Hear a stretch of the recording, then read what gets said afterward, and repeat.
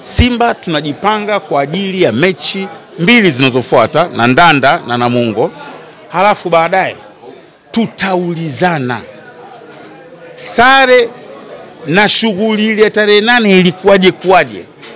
Haitatokea, nawaambia mimi niko tayari, haitatokea, haitatokea Simba kufungwa mara mbili na klabu yoyote. Kwa hiyo nusu fainali ni nusu fainali ya kisasi. Ah, Sio swala la kisasi.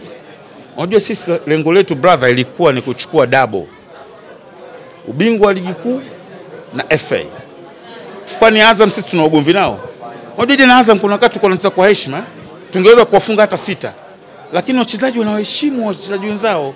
Ni fedheha kumfunga kwenye mechi kubwa kama hizo, kumfunga mwenzio tano sita. Kwa hiyo kuna wakati wakawa na possessed, wanacheza tu just kama mazoezi tu, lakini kwa hawa kwanza tutawalipia kisasi Kagera cha ule udhalimu wa juzi, tutawalipia sisi Kagera. Ndugu zetu, wala msio na wasiwasi, sio umetaka nusu fainali, sio umepapachua wewe, kapompa goli ya penalti, magoli sio ya hivi, magoli ya ajabu ajabu, sio umetaka nusu fainali.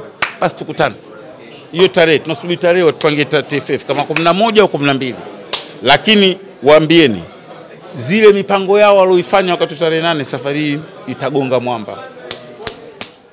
Neno, neno langu ni hili, itagonga mwamba. Mwamba. Shekhe afe kipa afe beki, Simba haijawahi kufungwa